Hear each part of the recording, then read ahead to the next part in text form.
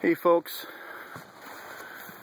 330 Maniac here. All my, you know, all my friends call me Trapper. Uh, it sounds kind of corny because they were weird traps, but in this town, I don't know.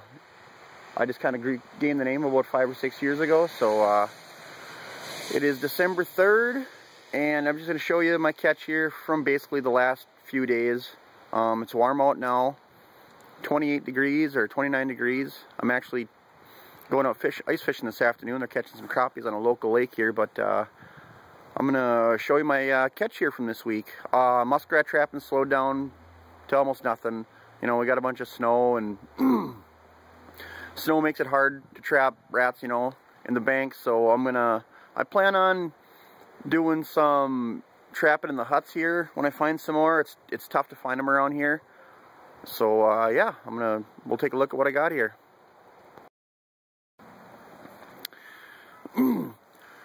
so, um, actually got pretty decent haul, you know. There's beaver. I got this one here's a this one here's actually about a 60 pounder.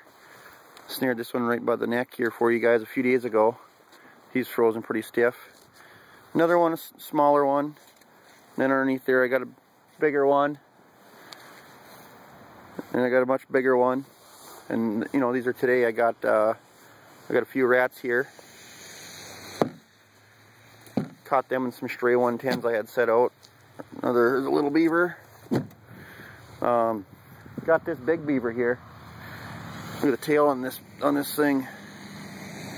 It's huge. And then uh, I also got uh, a couple otters here. I've been trapping some beaver houses and uh, I got a double today on them uh, and they're both pretty good sized males um, my daughter and I were out on Sunday and set some of these traps up and we knew there was a couple otters out there because we saw the sign but uh, couldn't imagine that it'd be this good you know we got a and there's another little otter over here just a, just a little pup but you know otter's an otter.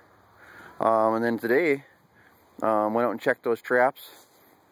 She's in school so she couldn't join me unfortunately but uh, checked those traps today and got this pretty nice beaver here. Got that little beaver there. And then in two bank dens, um, you know, the bank dens were maybe only 15 or 20 feet apart. And they were out from the lodge. Got a got a double on otters, you know, and they're, they're nice big males too. So, uh, yeah.